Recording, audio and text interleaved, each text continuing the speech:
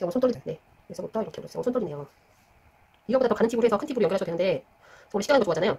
음, 그쵸. 네, 그래서 쉽게 가려고 그거 붙였어요.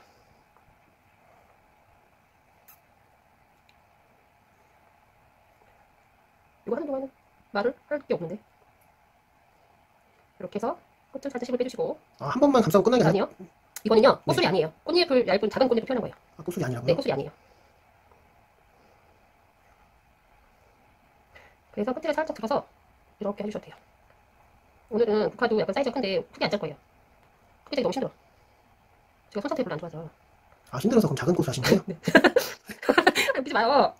아니, 뭐 전국을 찔러서 그런 거. 네, 맞아요. 눈물 나려고 해요. 웃기니까 입지면 안 되잖아요. 이렇게 밑에서 위로 하시- 해주시면서 약간 끝을 심을 빼주시고 더 들어주세요. 자연스럽게 그냥 해주시면 될 것 같아요. 아, 이거 그냥 몇 번 하고 끝난 게 아니라, 네. 아, 그러니까 꽃을 크게 하면 힘들다는 게 맞대요. 네. 힘, 상당한 그래서 원래 이거 4번 팁으로 안 하고 네. 2번 팁으로 먼저 얇게 하신 다음에 그 다음에 사이즈 또 큰 팁으로 해서 연결해도 되는데 저는 그냥 편하게 하려고 4번 팁 이용한 거예요. 더 굵은 거 하셔도 돼요.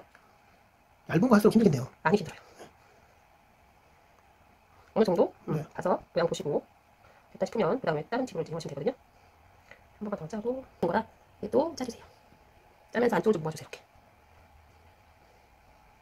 팁 굉장히 작은가 봐요. 예, 이건 좀 작은 팁이에요.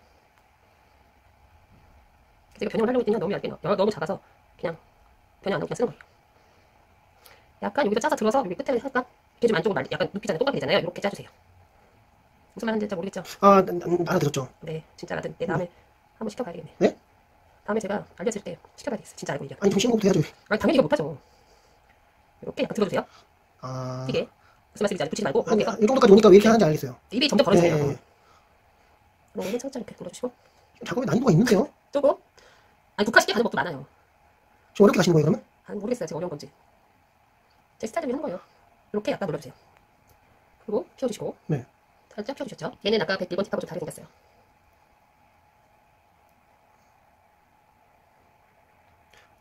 얘가 좀 더 얇은 건가요? 다르다는 게? 약간 얘가 타원형이죠? 아, 좀, 아까 일자 일자, 하면 얘는 네. 동- 그렇게 말렸다고요? 네. 아, 얘도 끝에가 살짝 이렇게 아, 이 겉으로 갈수록 입이 네. 커야 되니까 지금. 국화꽃이 약간 이렇게 생겼어요.